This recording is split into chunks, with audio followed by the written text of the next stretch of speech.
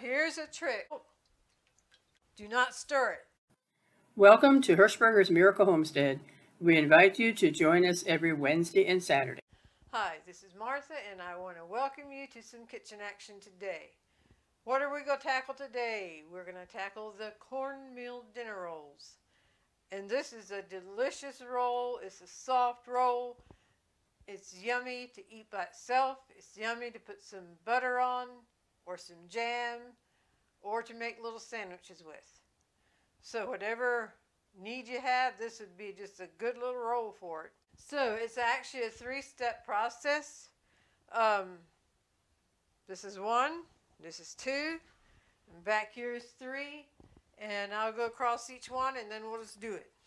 For the first one, you'll need milk, sugar, salt, cornmeal, and Crisco.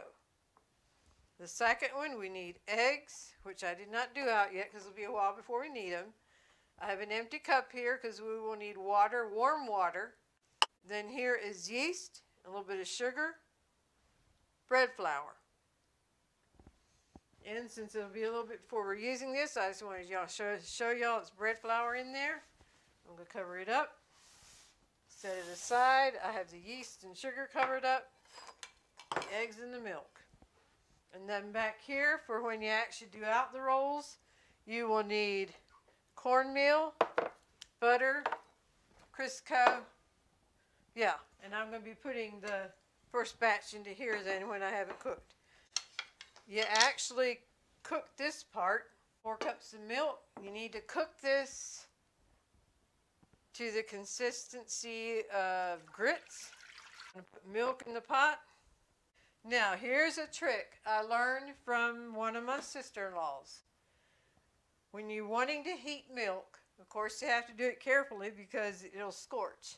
If sugar's in the recipe, put your milk in and then sprinkle the sugar over here, over the milk. I often save just a little bit of sugar to add to the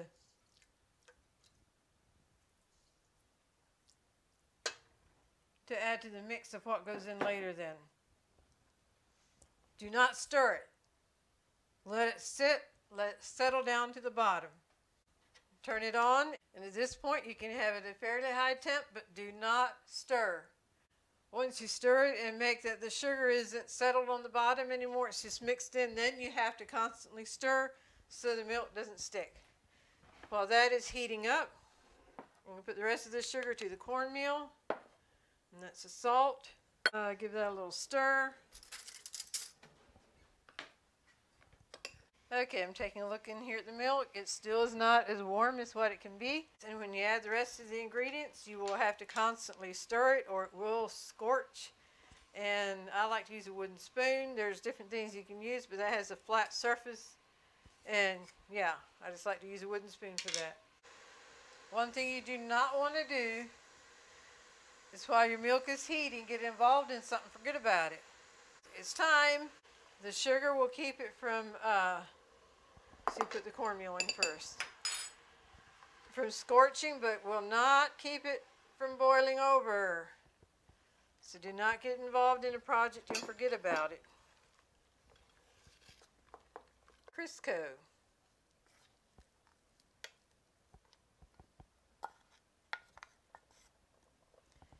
Okay, we just pretty much constantly stir.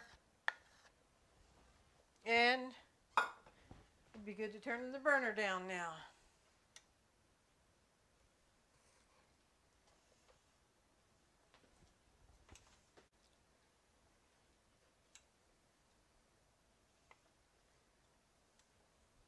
You could put everything in the pot and stir from the beginning, but to me it kind of helps to speed things up if you can get the milk heated quickly.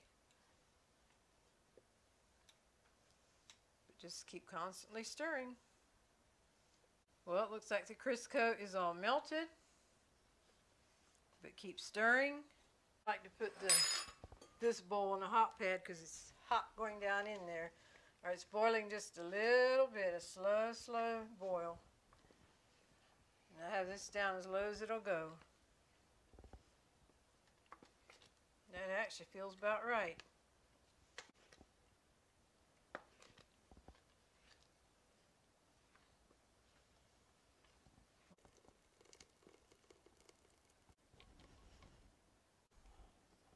Do you see that? I'm scraping it clean.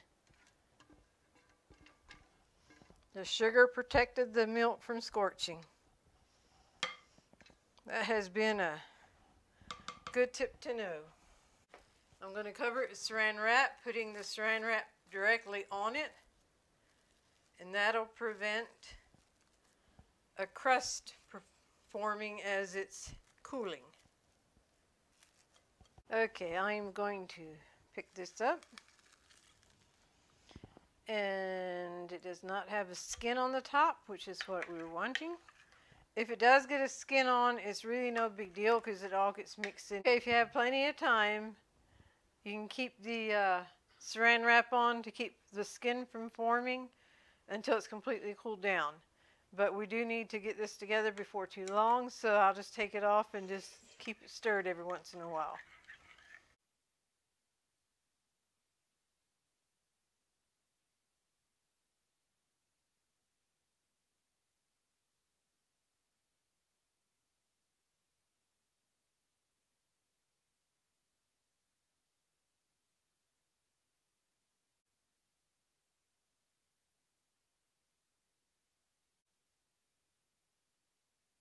Okay, I'm not sure if the speaker was turned off over there or not, but just in case it was, to give you an update on what we did, we put the uh, warm water, I just used tap water, in here and put the yeast and sugar in here.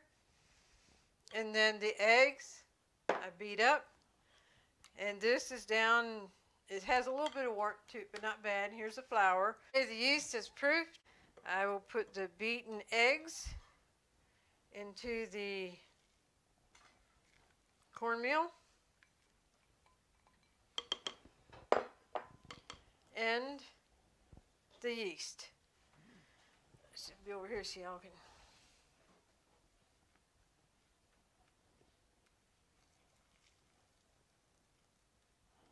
A lot of bubbles.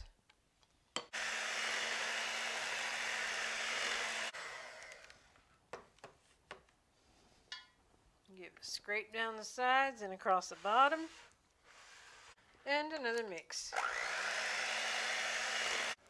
Alright, we'll just dump this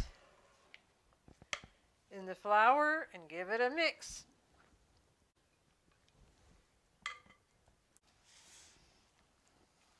Oh yes. Feels nice and warm right now. Just keep going on around. Be sure to get the bottom of the pot too because you don't want flour sticking in the bottom there.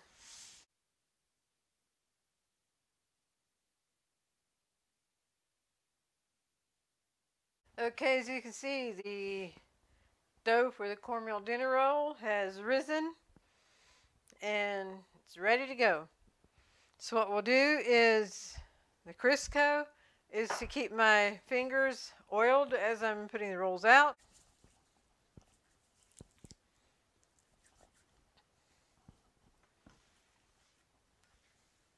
And you can make them whatever size you want, but I just bring it up between my finger and the thumb and give it a pinch.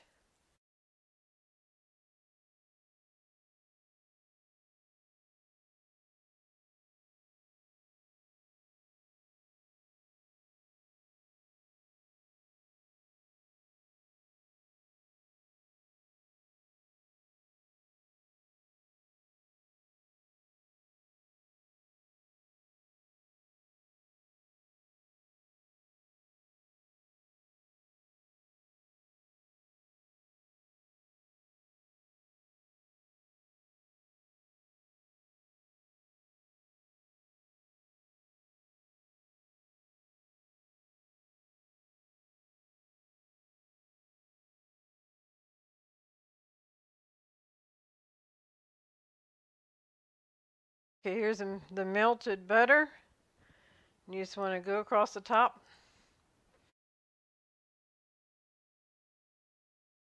Put this in here. And just do a light spray of light coating of cornmeal on top.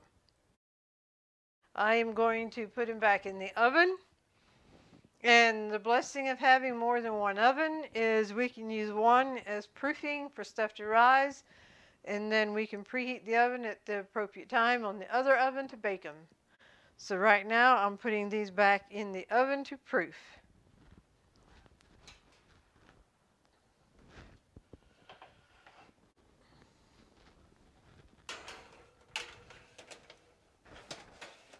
Okie dokie, the rolls are ready for the oven. The oven is preheated to 340 on the convection oven. Go down with the oven door.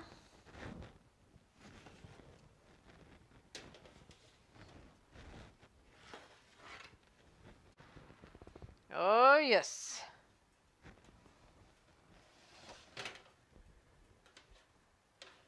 Looking good, looking good. Butter here. Just go across the tops a little bit.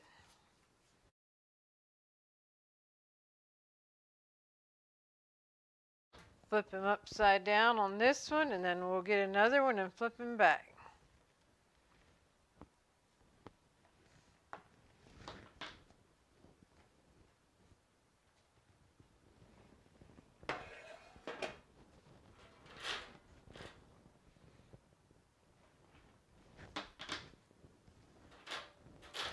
We go ahead and pull them apart where we think we may be pack packaging them.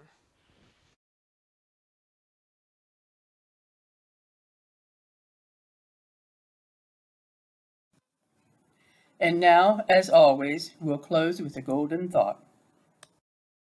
Hello and welcome to the golden thought of this episode. I am Martha and this is my very, very special twin brother, Marvin, better known as Buddy. Mm-hmm. Our golden thought for today is the most beautiful music is played by the heart tuned to the will of God. Many years ago, a little friend of mine had a piano recital, and on the bulletin, it was a Norman Rockwell painting, and it had an older gentleman by the piano.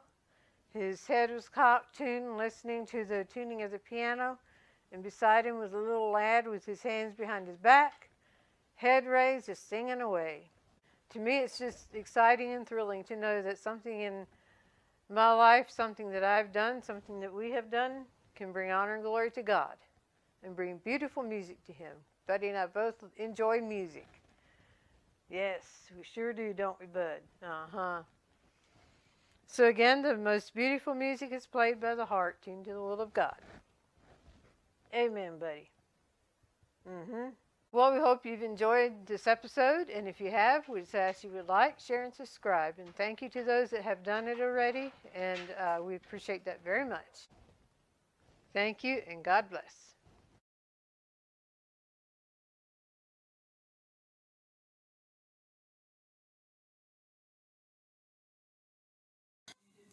Our videos are about what our life is in general, which is family, kitchen action, Labrador retrievers, and gardening. Here are some other videos that you may enjoy. We invite you to like, share, and subscribe. Until next time, God bless.